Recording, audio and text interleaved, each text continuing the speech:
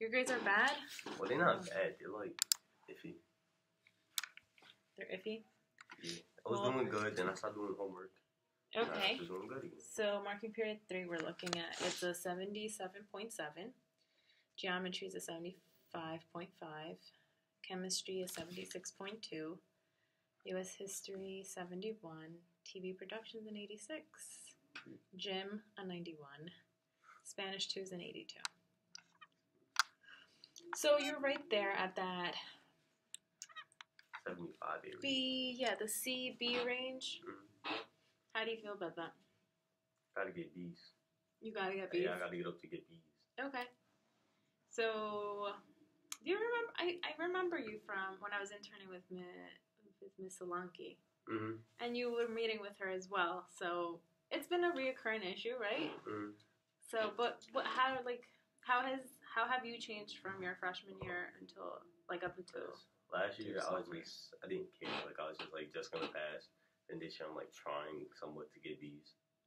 Because last year, I was just like, I got 70, okay. I'm gonna stay at 70.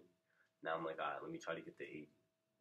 Okay, and listen, you started off great. First marking period 81, 88, 71, 75, 76. You're like you it's something that you have definitely a goal that you have hit in, in a couple of your classes. So, I mean, it's not like you can't do it, right? Right? Yeah. You you have accomplished effort. it. Right, definitely. Um now I know I know your parents came in to, to make your schedule for next year and then I forgot. Um, but how do you feel about like your goals compared to what your parents' goals are for you? They want, they say try to get A's, you gonna end up with B's. Well, try, try to get A's, and you end up with A's, and then the classes you struggle in, you won't get B's. And then they just want me to like go above and beyond and all this. We want to do all that. I just want to chill. But like, my mom chose physics. I wasn't going to choose physics. I was going to choose the easier class. I know. like, Did you change it with Mr. Mm. Palumba? mm, I didn't change anything. I just left it. Okay. The only thing I do have to change is though Miss Sickler told me not to take her next year. So Miss Sickler is for what? What? Uh, oh, TV studio. Yeah. Why, why did she tell you not to take her next year? Because Should I ask? I'm gonna be good. Like I'm not, I don't want to act up in the class or anything. It's just once I finish my work, I always just want to go to the gym, and she'll sign me a passing I Go to the gym next year. She says she's not doing that, so don't take her next year. Cause I'm gonna be stuck in the class, and she don't want to be stuck in the class with me that long. I'll teach her this. I mean, Is that what you? Is that your tip? Is that what you typically do in all your classes? try to leave? Yeah. Hmm. Well, either if I can't leave or if I'm not occupied the entire period, then I start like Right. You start looking for something to do. to do. So then I try to leave, and then if I end up leaving, then I end up in detention because I don't go back to class.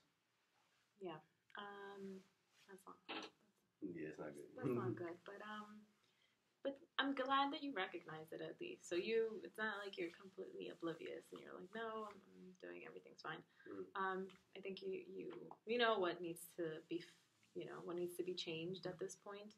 Mm. and um, you know, going on forward, you have next year. But I just, I just like you know, I want to meet with you because right now, freshman sophomore year, a lot of freshmen and sophomores like don't get that attention. You know, they don't talk about college because they're like, oh, that's so far ahead. Mhm. But realistically, you know, junior and senior year, it's kind of like, all right, like what are the steps you're going to take? And then if you're not kind of there yet, it's it could be challenging, and then it becomes overwhelming because your junior year, you're like looking at colleges, and then you don't know what exactly to look for. And then, I mean, we talk about college, college, college, but there's also um, alternative programs that you can go into. Um, it's just a matter of having a plan at this point, you know, and, and just where you see yourself, whether it's college, whether it's uh, vocational school, or whether it's at a community college, starting off there, figuring what is it that you want to do, and then going off um, possibly into a four year or or um, into something that you see yourself excelling in. Just like something to do after high school. Yeah, exactly. What do you where do you see yourself? I'm taking into Um, consideration that graduation is you know, Yeah. there. Um, unless I get a full scholarship, mm, which chances of that? So probably gonna end up in the military. In the military. Mhm. Have you spoken to your parents about that? And Well, I told my mom. She told me that I'm just using that as an excuse not to try in school. I'm always wrong. She's always right, but and I'm always trying to find the easy way out. But yeah, she gonna say that's what she gonna say. I'm trying to take the easy way out. Then I'm gonna just go to the military, and that they don't think I'll even stay in the military because I don't like people telling me what to do in the military. That's all they do. They just yell in your face. well, it's a different. It's a de- definitely a different dynamic than what you know you get in a school setting. Mhm. Um, but all of that is to take into consideration. How do you feel about changing into that type of like military setting? Mm. I feel like a different standard I'll be held to. So it's like. Right. Exactly. Um, are you okay with that though? Yeah. Um, if I don't get a full scholarship, I have to go to the military. It's like, you don't get a full scholarship, yeah, because nobody got bread to be paying no partial scholarship mm, or loan. So if I don't get a full scholarship, I won't say military. Okay. And then, okay, so let's say you do get, let's say hypothetically you do get a full time scholarship. Where would your interests lie? What would you want in basketball? Because I like playing basketball. Love playing basketball. You love playing bas- Mhm. basketball? Okay, so that that is, um, Keeps me out of trouble. yeah, that's definite. It definitely is. Uh, but that that could be a gateway for you to go into college and you know, especially to to do well in school. I mean, Yeah, they hold you to a- they hold you to a certain standard when you do play on a team. Yeah. And it's good. It's definitely good. And, and imagine if if you like being busy with basketball, like you can do like B's, C's. Mhm. I think the the busier a lot. What I found is that a lot of students, like you know, the busier they are, the more time they they don't have to to you know get into trouble. The more time they can actually you know not only do basketball but get their homework completed and look for extra help. So um, something to take into consideration, but you also have to build yourself, right? Um, how have you, like, I know you said basketball is kind of your passion, your hobby, your sport, Yeah. but what about, like, have you thought about, have you joined any clubs? Are there anything, is there anything else that interests you? No, I didn't join. I ain't think about joining no clubs or anything like that. It's just sports. Like I'm all all around athlete. Like I'm just athletic. So like I could play sports for like a season, but Okay. I, I didn't do one for fall. I did basketball. That ended short because I was being stupid. And then spring, I was going to do volleyball, but I don't know. That just didn't work out. So can you, can you fill me in on what happened with basketball this season? Um, I didn't go to practice. It was like it was like a combined like built up, but Mhm. ultimately it was. Um, I didn't go to practice, and my grades weren't up to par. Okay. Like they they had seventy seven. Like I was still passing everything, so I'll still be on the team. I just would have been academic probation. Okay. I had to go to homework club, but I wasn't going to practice anyway. So Why weren't you going to like- practice? Cause it was winter break. I feel like I'm, and I wasn't getting no burn anyway. So I was like, all right, I'm gonna just stay home. But do you feel like you are at that like where do you And I, it was like, like I wanted to play JV. I didn't want to play varsity. I didn't want to be on the bench on varsity and not play, and then not play JV at all. I would rather just play JV. Cause and have more playtime? Yeah. Uh, so from what you're telling me, I'm getting the sense that you would have gone into varsity. mhm. like I was on, like I had my spot already, and I was on the team for like the first game I played. I came off the bench. I was, and then the second game I couldn't play. 'cause I got in trouble with I wasn't doing my homework in homework club. I was playing around. Then the next game, I couldn't play because I didn't go to the practice right before. And then they made me sit on the bench the JV game, so I just sat on the bench the whole game. And I went to like overtime, so it was like real long and boring. And they lost. Should have put me in, but then I watched the whole varsity game, sat on the bench the whole game. Then it was break, and I was like, I'm not playing, so I'm not gonna go. And I got kicked off.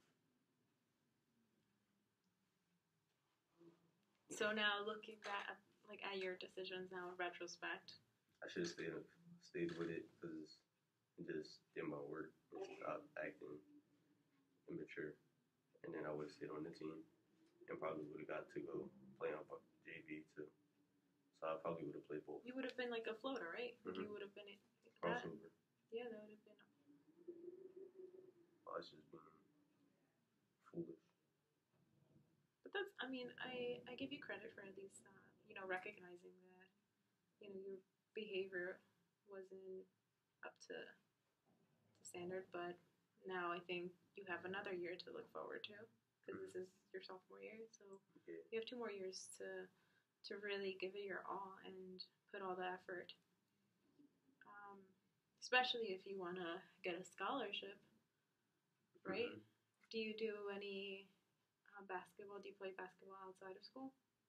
Yeah, um, right now I have practices Thursdays and Tuesdays and Thursdays at the middle school with Blake Hamilton from, uh, working at Monmouth now, I think, yeah, well, he's telling me working at Monmouth.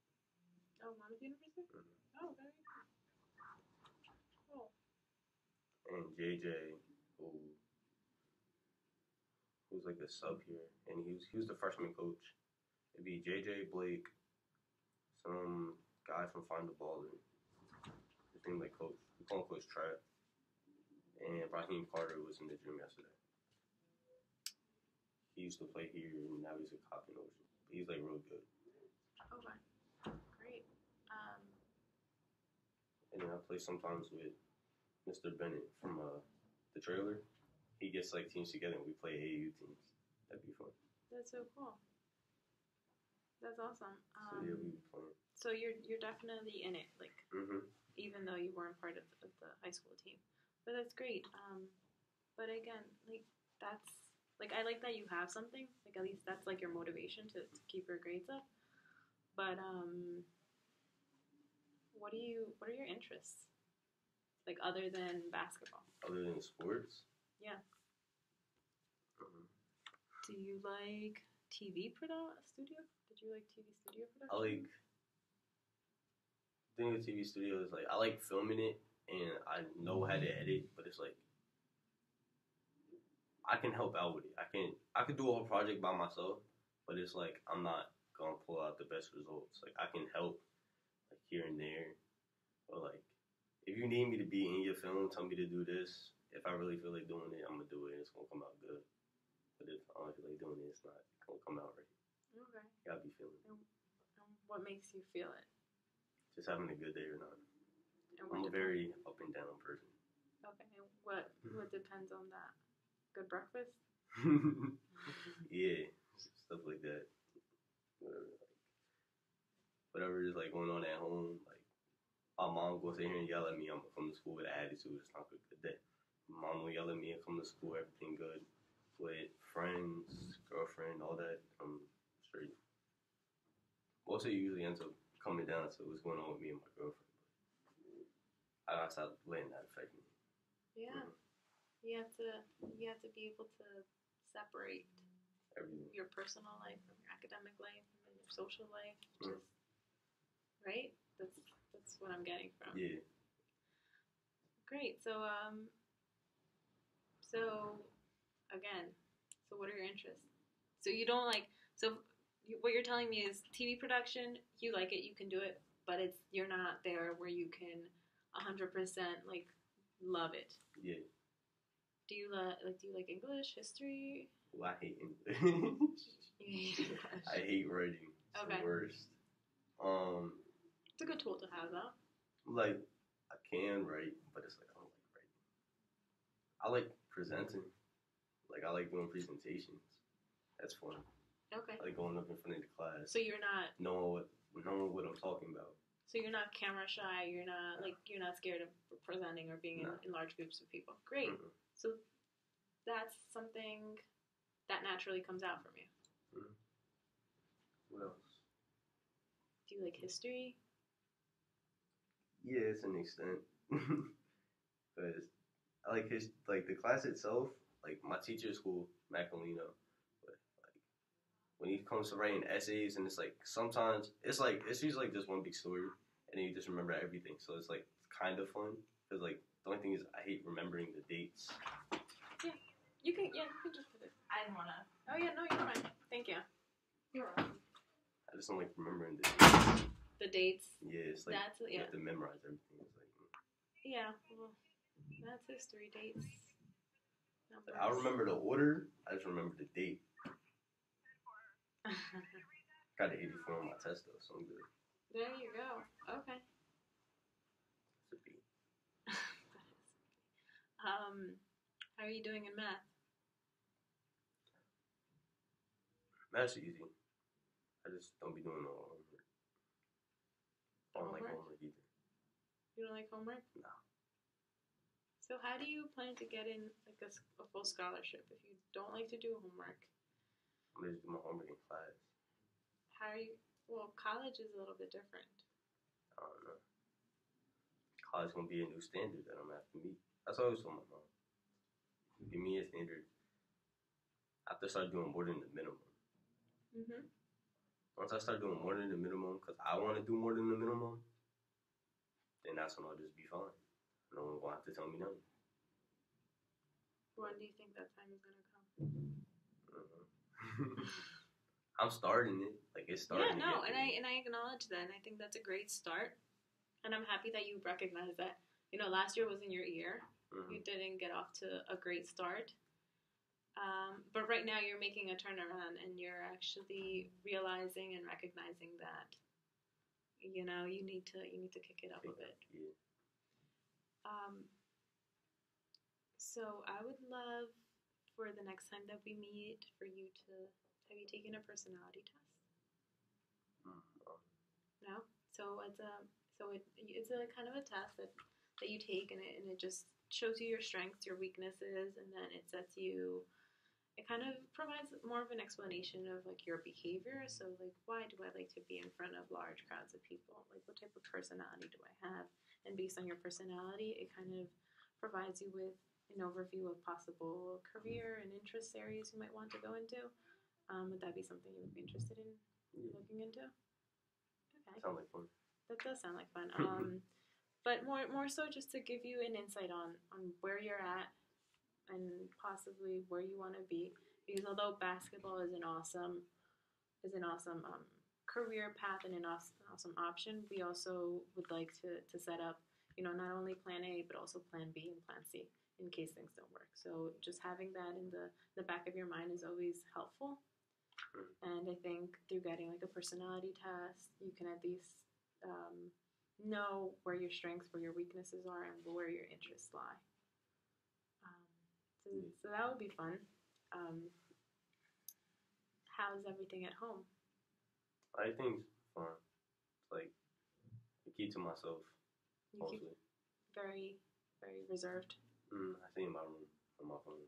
Okay. Do you have siblings? Yeah. Do you have a sister? Mhm. What grade is she? Eight. Eighth grade. Well, I have older, but none of them came from Long Branch. Okay. And then And I have four younger, only three left with me. so, how many siblings do you have in total? My dear Diamond, somebody, six, and then me. Six, seven in total. Mhm. And they're both from your from both parents. Oh, okay. So they're My dad. I, so my dad has. Dear's mom, Diamond's mom, my mom. Four different baby moms, and then there's my stepdad. So it's four moms, two different dads. Like, that all the kids came from an album. Okay. So you are you like the only? I have one full sibling. Oh, okay. So that's and you you get along very well with your siblings. Brother, sister, like yeah, to an extent. I mean, we argue, of course, but yeah, but it's nothing OD though. She know me.